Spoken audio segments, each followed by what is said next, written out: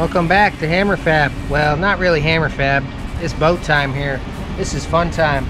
We're uh, sanding down the bottom of my Chris Craft boat. It's 57 Chris Craft.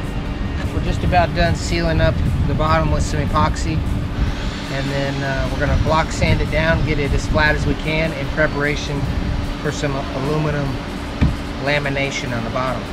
So it's uh, it's a dirty job. It's a lot of work, but it's a beautiful day and somebody's got to do it. So let's do it.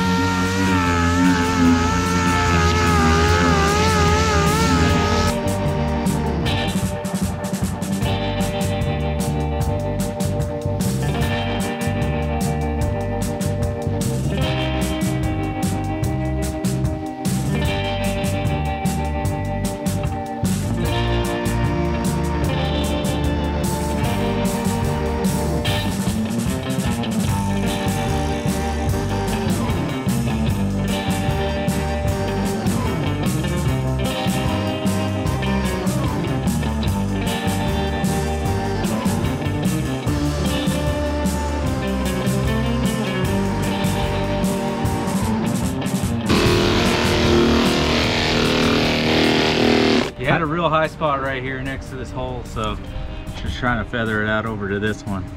This epoxy. It's tough. It's real tough.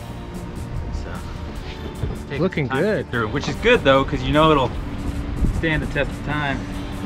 Especially once you uh, put that nice looking hot rod metal over the top of it.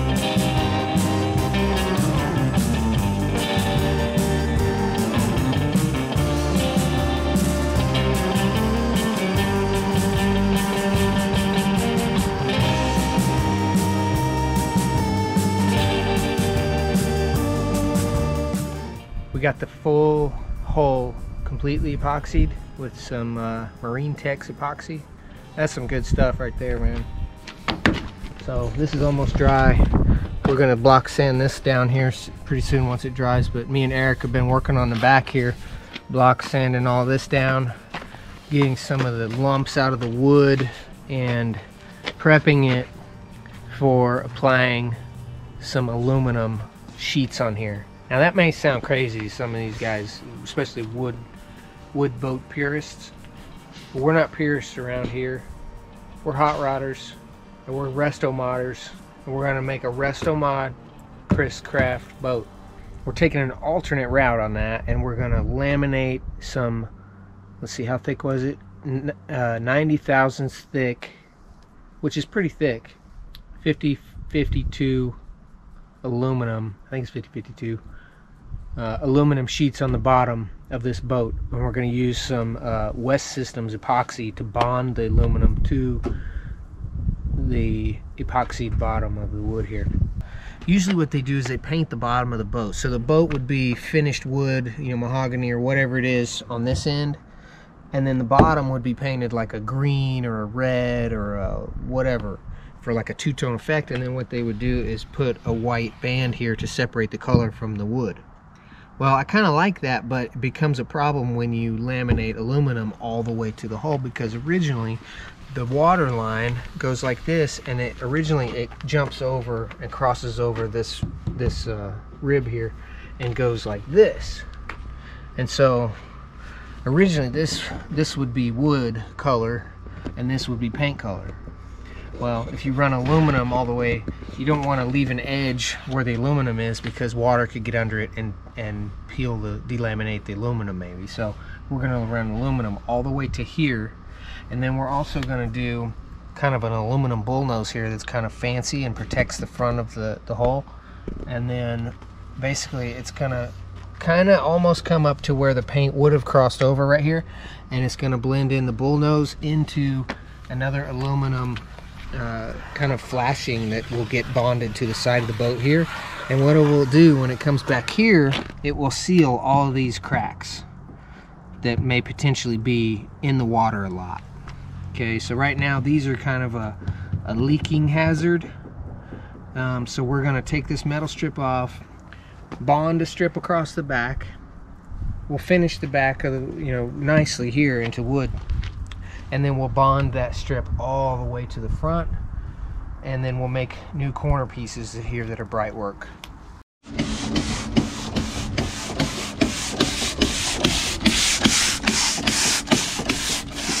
What happened? What, what, You're not using that right. You know that, right? I broke your tool. What? This is what happens when you hand an American man a Chinese tool. What?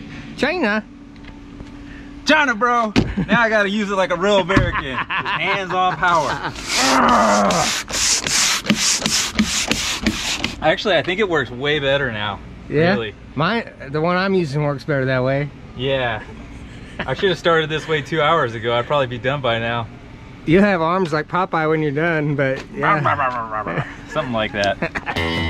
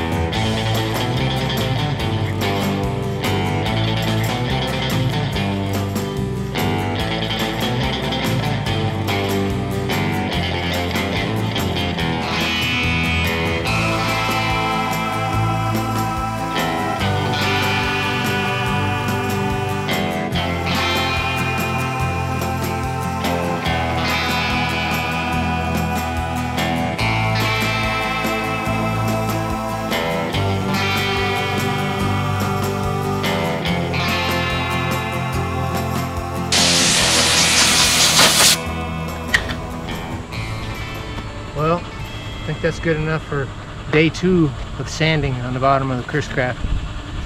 That's a lot of hard work right there, man. So it's got some wood showing through, it's got some orange primer or something showing through, and it's got some, you know, kind of looks blotchy right now. It's not real smooth looking, but it actually, it's getting pretty smooth. We've been blocking it with uh, a long block, and so we're getting it nice and straight so that some aluminum will lay down on there pretty nice. Yeah, both sides look pretty smooth. Now the next step is, uh, before we put these pieces of aluminum on, we're gonna put this back panel on first. So this back panel has to go on first because it's gonna be like an L channel like this and it's basically gonna go right on there and we're gonna dig this down the 90 thousandths thickness of the metal so that it become the metal becomes flush with this. So this one will go on there and glue and seal you know bond it on the back and seal this whole corner off real nice. And then once that's flush then we'll pattern these and make those those will overhang this one like this. So it'll be like no way absolutely no way that water could ever get in there when it's all bonded with epoxy and stuff. So kind of looking forward to that. We, we're, we're past the hard part. We just got a little bit of sanding left and then we can uh, move on to some fun stuff like sanding the, the mahogany and finishing off that stuff and then doing the aluminum flashing and aluminum on the bottom. So I'm looking forward to that. That's the plan.